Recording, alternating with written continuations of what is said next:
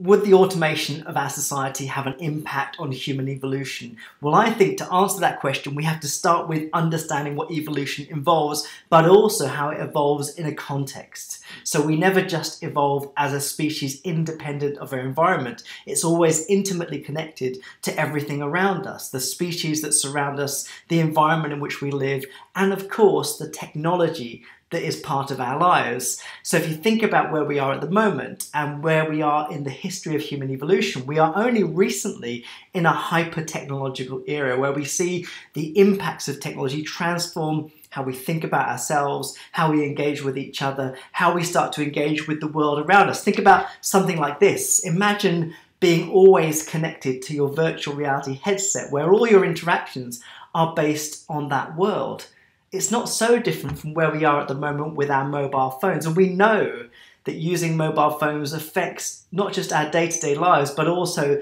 those social configurations around us, the sorts of things that transform our interactions with each other.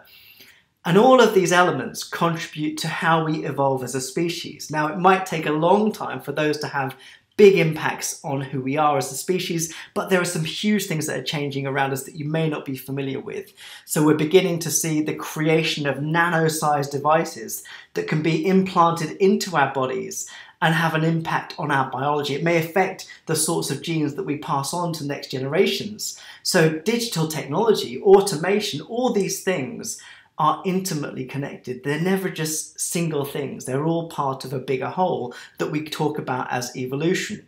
So, when you think about technology, when you think about those robots that are emerging that surround us in our lives, that care for us, that work for us, that take our jobs, all of these things affect the sorts of things that humans do. It goes back to the film WALL-E, which you may remember. Humans are depicted as these beings that have no capacity to move because they've not had to move forever because machines have done everything for them.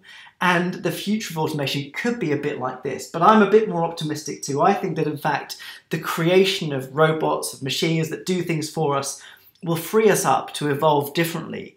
The integration of technology with our own bodies will allow us to go beyond human evolutionary. The kind of trajectory that we're on the moment could be massively augmented by bringing in these new technologies. So far from limiting us or damaging us, I think technology will make us better as people.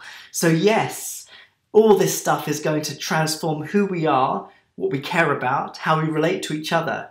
But all of that can be for the better. It can push us into a new era of telecommunication where we're able to neurologically interface with each other to, to, know what each other are feeling and thinking just by having that cognitive capacity. It's not just about trying to make things more efficient, it's about trying to go beyond the limits of human functionality. Some of the best designers at the moment are working on implants that will give us the kind of sensorial capacities that other animals enjoy, or even the transformative potential that animals have, like regeneration of, of limbs or parts of our bodies that, when they currently come to an end, have no capacity to grow back.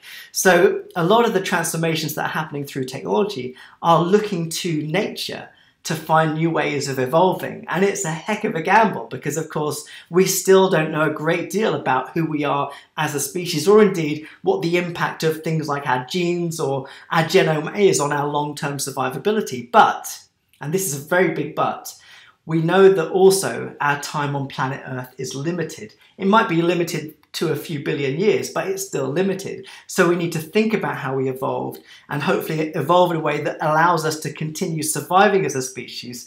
But by the point we get to where that is necessary, we will have transformed so much that even our idea of human evolution will have been dramatically altered by these technologies.